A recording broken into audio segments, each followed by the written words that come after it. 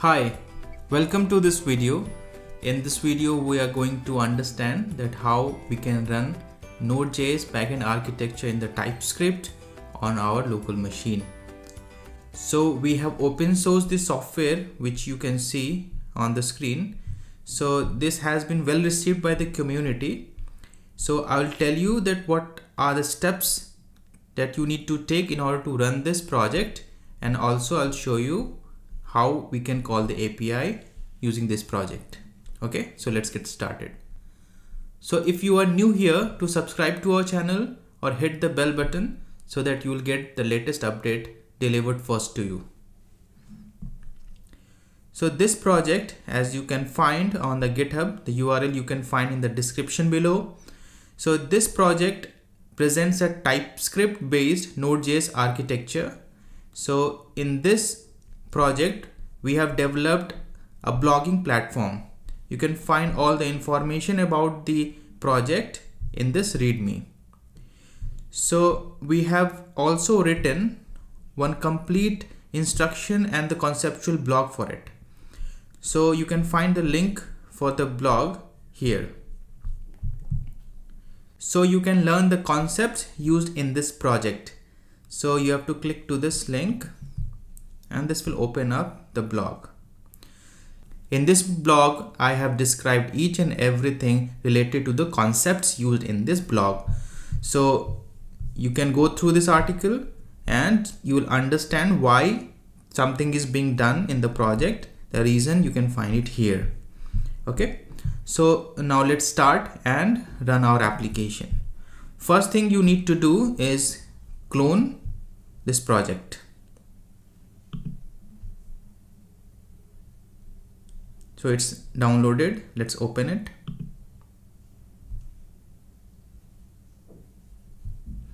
So I'm using Visual Studio Code. Uh, you can use the same. Just drag and drop on the Visual Studio Code.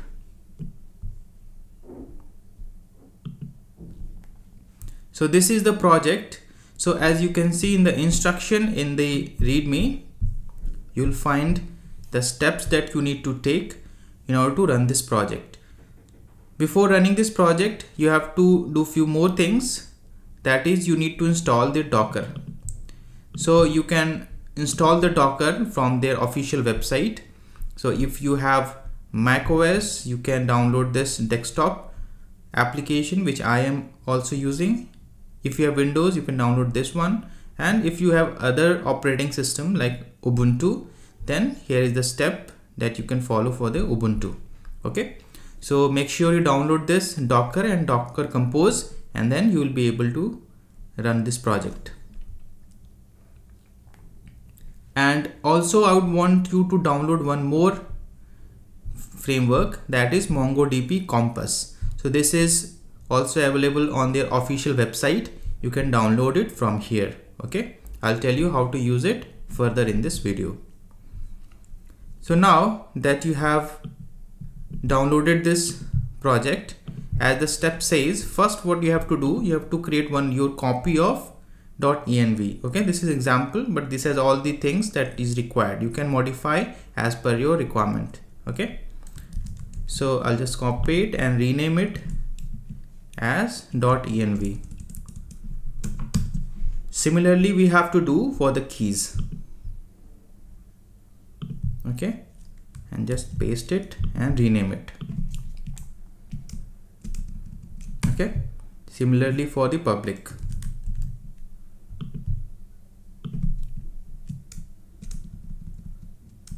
Okay. Now one more thing you have to change in the test. You have to make this environment variable file. Okay. So now we are ready to go so make sure that your docker is running. So let me run the docker.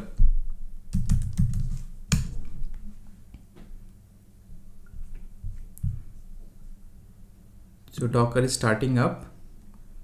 And now docker is running. So now let's run our project. So now we are ready to run our project using docker. So run the command docker compose up minus d in the background so it will download your mongo.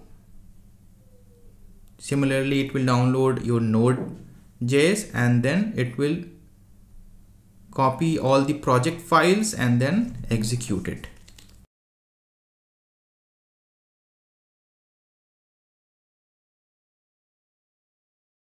So now you can see that our build is ready and you are running your mongo in your application so vs code has one very uh, good tool that is docker. You can install it from your extensions. So this tool helps you manage your docker instances.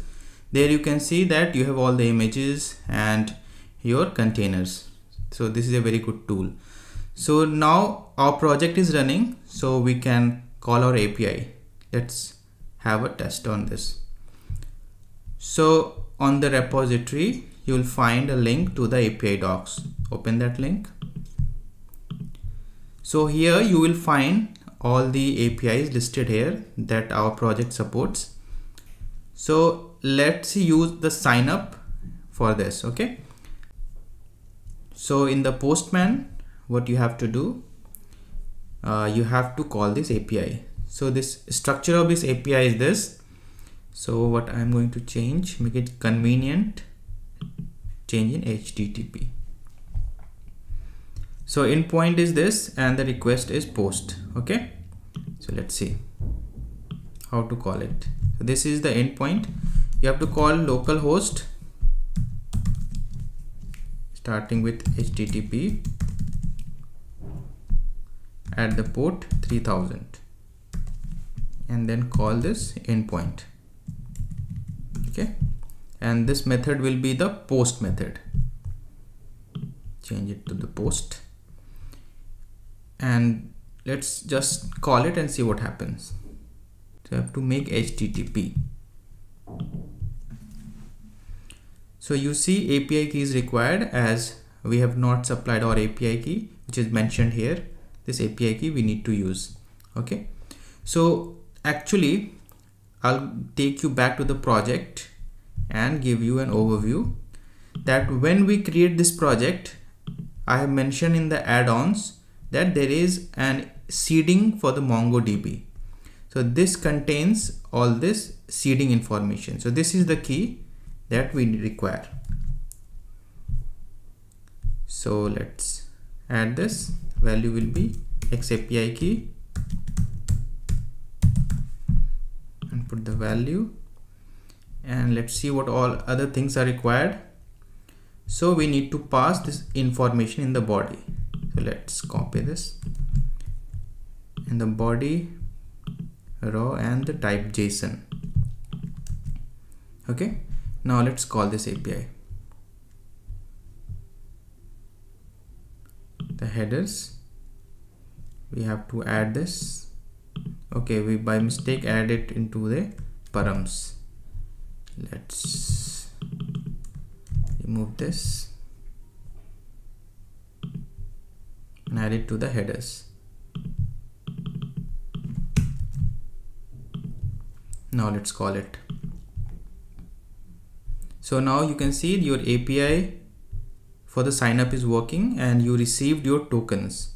You'll be requiring these tokens to make other calls okay? Open the new tab and now what I want to show you that this user is your learner okay?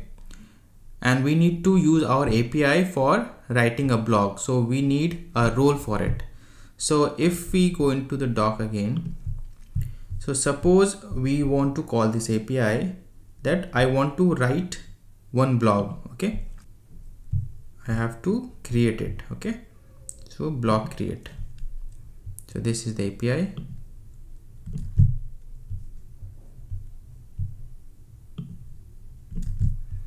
so let's call this API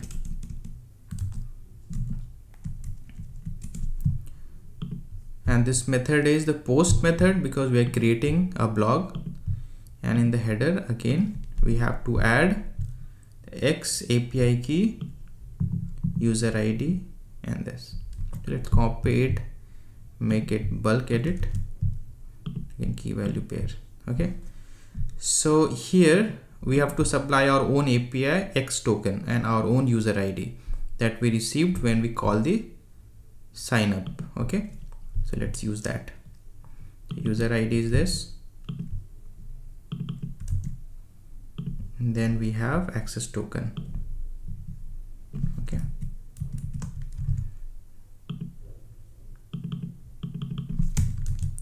Okay.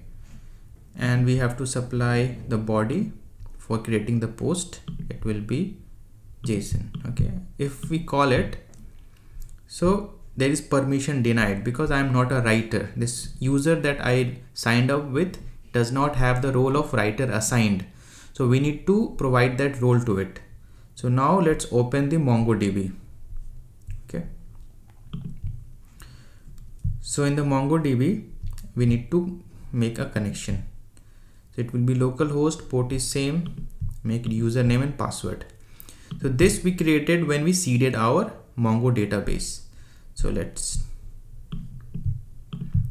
so let's take that. So we have got mongo and we created this user blog db after academy blog db and the user is after academy blog db user and password is change it so let's use that. So username db user password change it and database is db okay? Let's connect it. So we are connected. We are having this db here. So here these documents are already created because we called this in our seed script. So let's go to the roles. So we have got writer role. I will need this user ID okay? And then I have to go to that user. It has got roles. I have to provide that role here. So add that role here. Make it object ID okay?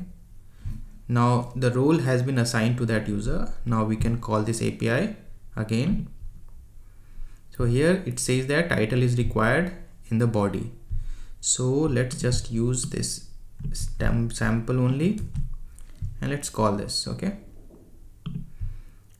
So you can see that now the blog is created and let's check it in our mongodb okay? So in the blogs you can find the entry is available here. So now you will be able to call all the API that is listed here okay so go ahead and experiment with the project. One important thing that I would want to show you that how you can run the test. Okay? So in your project again open up the terminal. Just open a new terminal. And first you need to install the dependencies for this project here. npm install. Okay So one important thing here is that uh, you'd want to install Node.js and npm in your machine. Okay, so you can find the instruction online for doing that and make sure that you are running higher version of Node that is Node 6 plus or if that also does not work use the latest version. So now our dependencies has been installed. So what we have to do we have to run npm test but before that because we will be running our npm test.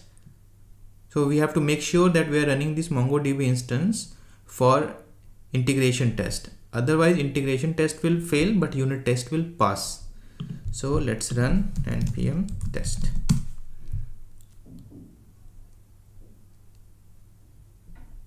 You can see our test is running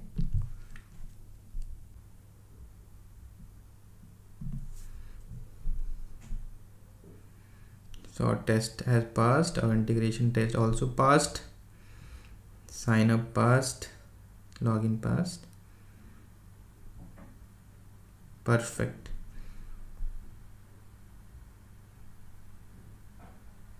So all our test is passed and this is the final coverage report. You'll find the coverage information developed here and you can open this HTML okay so just let's open it in the finder. And then run this. So this is the coverage report. Uh, we have covered most of the our code base. Few are left and i welcome you to uh, contribute to the repository and add test for them. So if you will see that in the core we have covered most of our test cases. And this will also show which has not been covered. Okay? So great so i hope uh, now you would be able to run the project and explore it that how things are done. And for better understanding go through the blog. I have mentioned each and everything all the concepts required here.